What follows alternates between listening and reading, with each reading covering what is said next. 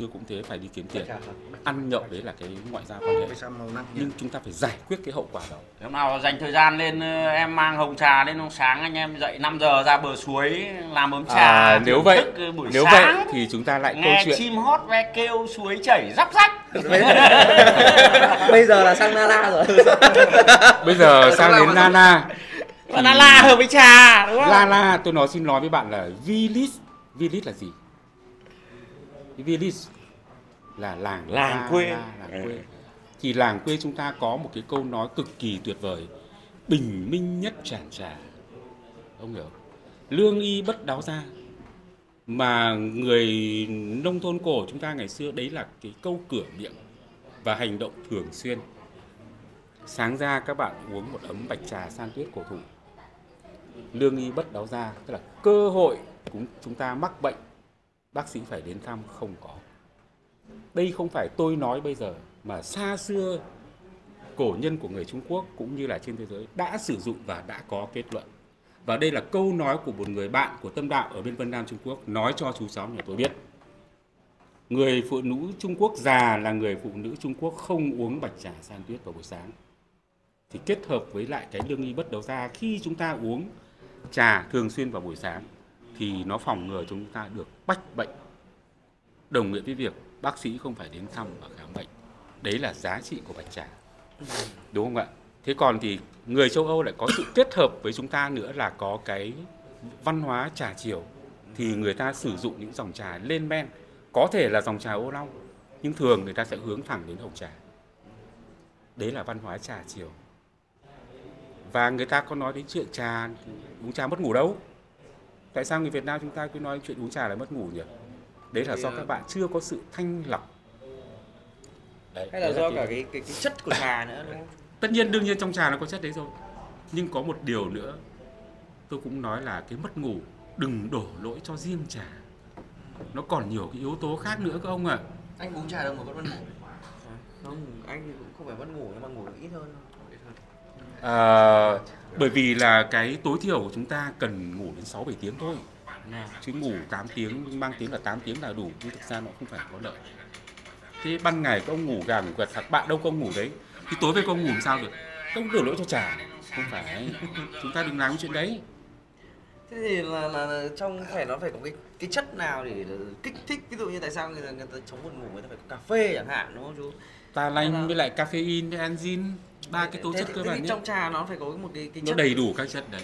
Đó thì nó cũng sẽ là làm thế nhưng nó- mà quá trình chế biến trà À. và đặc biệt người Trung Quốc cổ xưa đã từng chế biến ra trà ô long tức là lên men từ 50% trở xuống. Và cuối cùng là gì? Cưỡng bức lên men toàn phần đấy là hồng trà.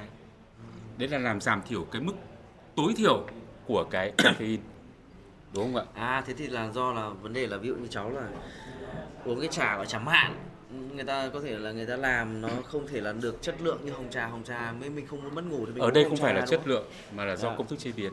Và cái lục trà bạn tinh của tâm đạo quán có mà. Nhưng mà bọn chú không bao giờ nói cái chuyện là uống cái trà của thụ của chú tất cả các loại trà là không mất ngủ. Chúng ta không nên nói cái điều đấy. Là ngay cả cái chuyện thuốc bổ các bác sĩ cũng nói với các bạn là gì? Không nên uống trước khi đi ngủ cơ mà. Mà chỉ sau bữa ăn tối thôi.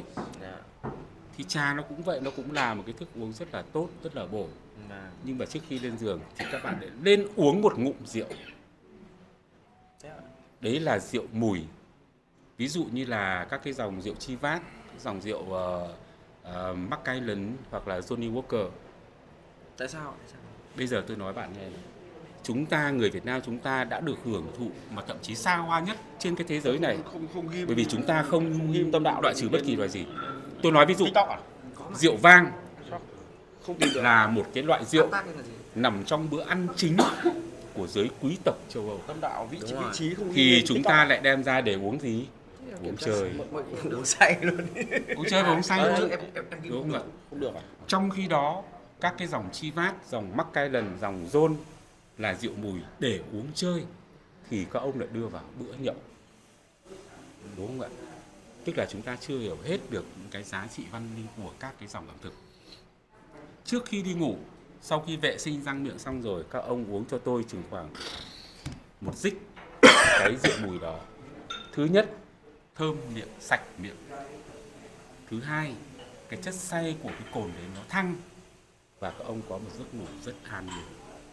chứ nó không phải cái dạng say rượu như rượu của Việt Nam, như là cái rượu vang. Các ông say cồn cào chằn vặt mẹ muốn chị đập đầu đất này. À. đấy mới là cái cách sử dụng đúng. Đúng không ạ? Chứ Hay quá. không có thì các bạn cứ mang rượu vang ra uống kiểu cũng chưa. Tôi nói ông nghe rượu vang mà say còn khốn nạn gấp vạn lần so với rượu khác đấy nhá. Đúng rồi đúng rồi. Cái rượu vang mà say là cực kỳ mệt mỏi. Mệt lắm. Và tại sao cái rượu gạo của Việt Nam biết Tây nó gọi là rượu gì không biết đâu white rice thế thì khi mà say cái rượu của ta ấy là mệt lắm, không chịu nổi.